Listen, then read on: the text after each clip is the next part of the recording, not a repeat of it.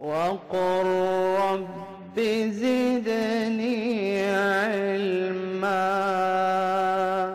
السلام عليكم ورحمة الله تعالى وبركاته. مرحبا بمتابعي الكرام. في هذا الفيديو سنتحدث عن معلومة قليل من الناس من ينتبه إليها.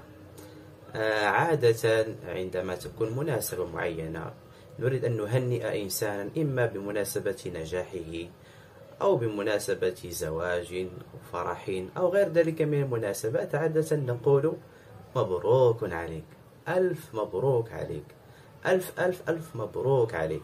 فهل هذا المعنى يصح أم لا يصح؟ لو رجعنا أيها الأحباب إلى كتب اللغة فإننا نجد أن كلمة مبروك مأخوذة من فعل بارك. نقول بارك الجمل أو باركت الناقة بمعنى أنها تبتت عليك وجمعت يعني رجليها وجلست على صدرها. فأنت عندما تقول لإنسان مبروك عليك فهنا كأنك دعوت عليه. تقول جلست عليك الناقة فلم تدع له بالبركة وإنما دعوت أن جملا جلس عليه. إذن هذا هو المعنى في اللغة العربية. فالصواب هو أن نقول في باب التهنئة أن نقول الإنسان مبارك عليك وليس مبروك عليك إنما مبارك عليك. طبيعة الحال نحن لا نقصد آه هذا المعنى الذي ذكرت وإنما نقصد البركة بمعنى النماء والزيادة. ولكننا نستعمل كلمة خاطئة. هذا ليس حرام أن تقول الإنسان مبروك ليس حراما أن تقول الإنسان مبروك.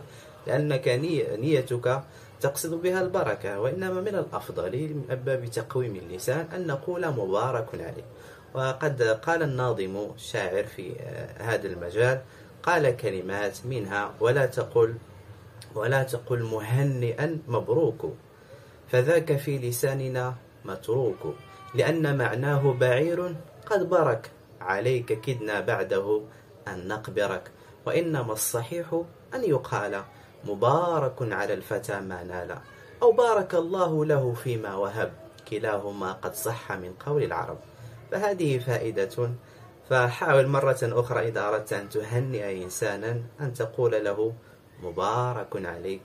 وليس مبروك عليك.